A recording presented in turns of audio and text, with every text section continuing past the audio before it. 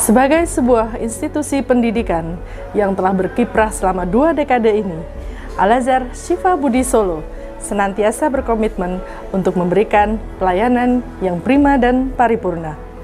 Untuk mendukung maksud tersebut, Al-Azhar Syifa Budi Solo didukung oleh SDM-SDM yang bertakwa, profesional, kompeten dalam bidangnya, dan berprestasi dalam rangka mewujudkan siswa-siswi yang menjadi insan kamil, yang cerdas, bertakwa, dan senantiasa menunjukkan prestasinya dalam segala bidangnya.